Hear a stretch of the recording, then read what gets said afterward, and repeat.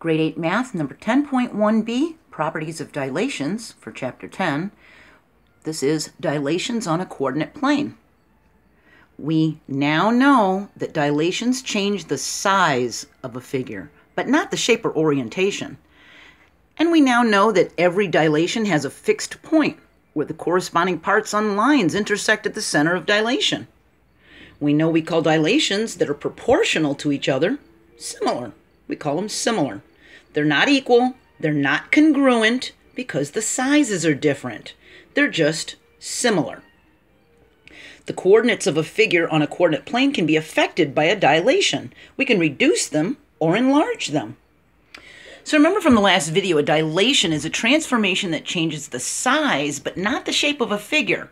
And our pupils dilate when we go into a dark room, they enlarge. This dark center of our eye gets bigger to let more light into our eyes. Our pupils dilate.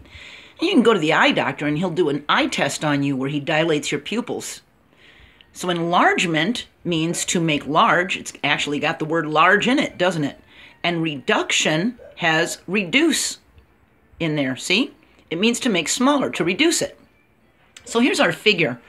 We've got this blue shape right here, and it's got an image inside of it that's pink. And you can see from the little tick marks that the pink one is the copy. It's the image. The blue one is the pre-image. So figure w prime x prime y prime z prime is a dilation of w x y z. It's reduced, it shrank. We record the x and y coordinates for the points of each figure and find the ratios. We can find the ratios between them, okay? So we're going to compare w to w prime and x to x prime and y to y prime and z to z prime, and we're going to see what the ratio is. So the first thing we do is list the image coordinates, the pink ones, so that the ratios are going to be correct. You always do the image first, the one with the primes, okay, on the labels. So what we've got for the pink one is W is at negative 1 and 2.5. Well, let's look. W is at negative 1 on X and 2.5 on Y. See, it hits Y at 2.5. X prime is at 2, 1. X prime, right here, see the prime symbol, the tick mark, is at 2 on X and 1 on Y y prime is at 2, negative 2, z prime is at negative 2, negative 2, and then we look at our original, our pre-image. w is at negative 2, 5. It's at negative 2 on x right here, and it's at 5 on the y, okay? And x is at 4, 2, y is at 4, negative 4, z is at negative 4, negative 4, and what we're going to do is we're going to come down like this with each x value and each y value, and we're going to make a fraction out of them. And we can do this because we followed our little rule of listing the image first. You list the copy first, and then you put the original underneath it for the coordinates. That'll give you your ratio. That gives us negative 1 over negative 2. Well, negative 1 over negative 2 is a half. It's 1 over 2 because these two negatives cancel each other out as a positive. That's 0.5. 2.5 over 5, well, that's 2.5 over 5. That's half also. That's 0.5. 2 over 4, that makes 0.5. That's a half. 1 over 2, that makes 0.5. That's a half. 2 over 4, that makes 0.5. Negative 2 over negative 4, the negative symbols cancel each other out, so it's a positive 0.5 negative 2 over negative 4, again, a positive 2, 5, a point, 0.5, and negative 2 over negative 4, again, is a positive 0.5 because they canceled each other out. So now we can see that the ratio between the pink triangle and the blue triangle, it's all a half. All the measures for the pink one are half of what the blue one are. Well, we can make a conjecture.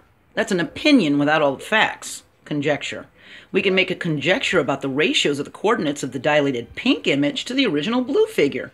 They're proportional because all the ratios are the same. They're 0.5. So they're similar, aren't they? They're not the same size, but they are the same shape and they have the same orientation, don't they? They're sitting exactly the same way. The center of dilation is the origin, 0, 0. Look at this. Where do you think that the original image came from if the smaller version is here?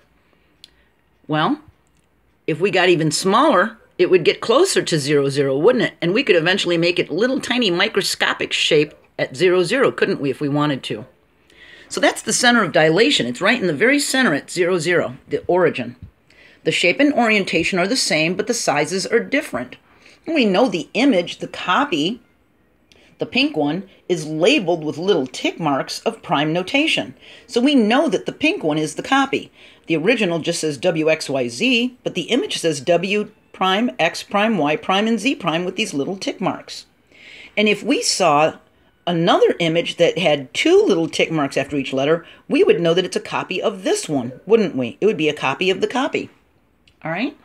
So those are dilations on a coordinate plane, and that's how we can find out if they're proportional in proportion to each other. In our next video, 10.1c, we're going to find scale factors. Okay? I'm going to work on the scale of dilations. Okay? That's another type of a ratio. I'll see you next video. Hope this was helpful. I hope you're doing okay. Keep your chin up. We're getting through this, okay? I'm on Twitter. If you have any questions or you need any help, just let me know. All right, and don't forget I'm on Patreon.com. I'd really support, like, appreciate the support, even if it's just a dollar a month. And I'm a grandma on a fixed income, and it would be really helpful. Bye.